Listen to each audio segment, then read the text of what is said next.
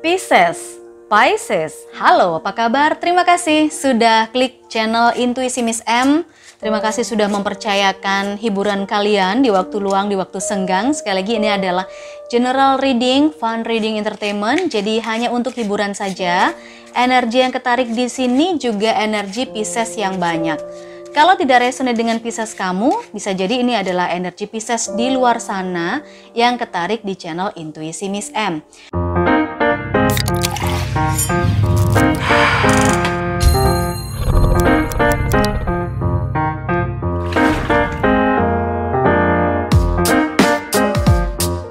Oke, kita masuk di readingan untuk Pisces di bulan Juni 2021. Saya hanya membacakan simbol-simbol yang keluar saja ya. Menerjemahkan simbol-simbol yang keluar untuk Pisces. Resonate atau tidak, sesuaikan saja dengan kondisimu masing-masing ya, Pisces. Ada dua hati, lalu ada tiga waru hitam, ada delapan waru hitam.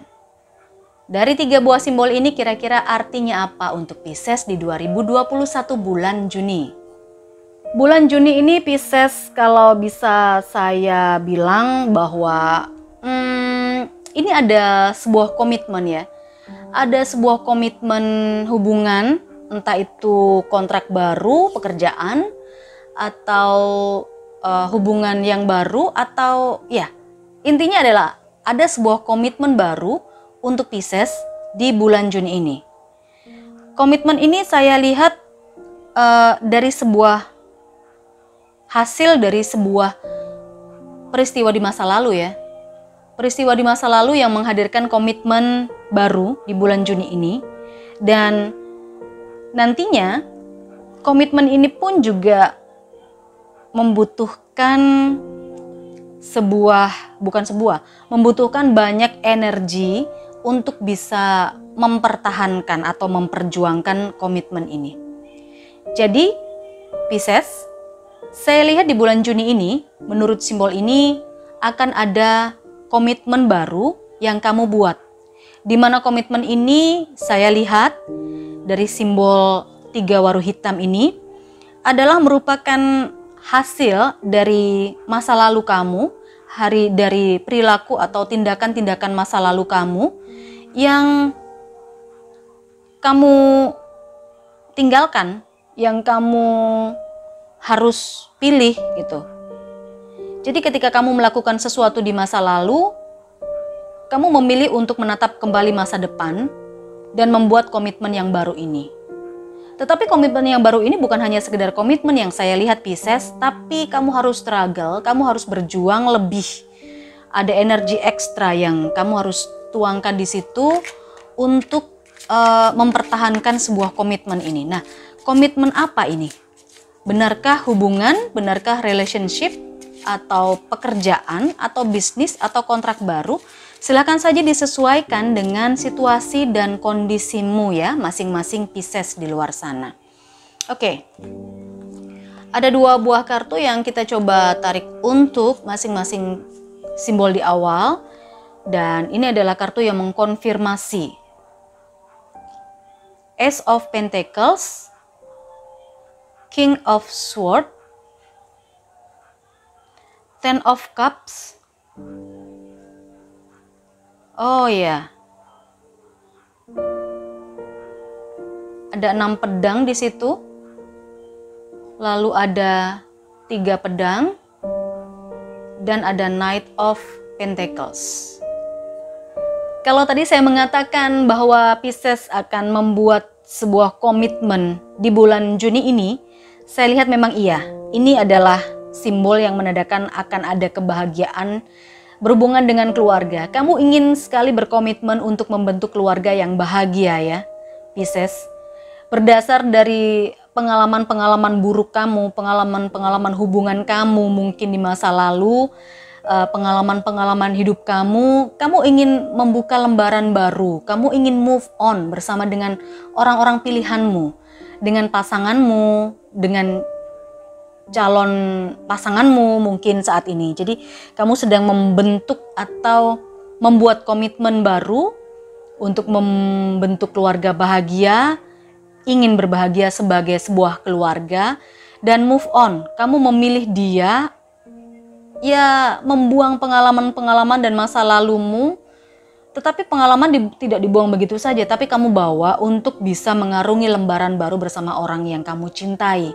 Itu yang saya lihat ya, Pisces.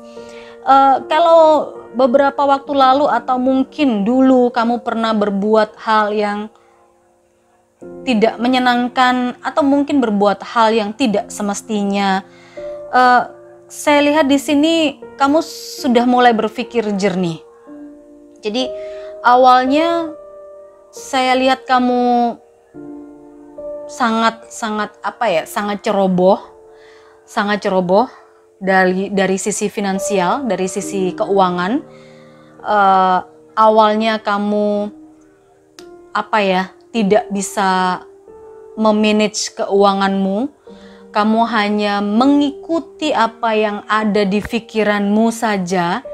Sehingga kamu sempat berpikir bahwa Wah, kalau begini terus nggak bisa jadi apa-apa dong hasil kerja saya. Saya baru mulai bisnis, tapi kalau saya akhirnya uh, terlalu terpengaruh dengan hal-hal sekitar yang membuat pemikiran saya itu jadi kacau, saya tidak bisa mengambil keputusan dengan benar, ya akhirnya itu akan membuat saya sendiri merasa tidak punya masa depan. Ini yang saya lihat kalau kamu terus-terusan tidak bisa memanage keuanganmu, finansialmu, atau memanage apa pun lah yang ada di pikiranmu, kamu gampang terpengaruh, maka kamu tidak akan bisa melihat masa depan. Nah, di sini saya lihat kamu mulai menapaki atau mulai berpikir ke arah masa depan. Itulah yang membuat kamu, yang mendorong kamu, uh, ya, mendorong kamu Pisces untuk berkomitmen. Aku harus berkomitmen, aku harus punya keluarga yang bahagia, uh, membawa pengalaman-pengalamanku di masa lalu ini mm, dengan orang yang kucintai begitu ya untuk bisa berbahagia dan membuka lembaran yang baru. Tetapi membuka lembaran yang baru itu Pisces perlu kamu ketahui bahwa tidak semudah membalikan tangan ya. tidak segampang apa yang ada di simbol tidak segampang bagaimana cerita orang atau tidak segampang kelihatannya. Kamu akan harus struggle di sini. Harus lebih berjuang.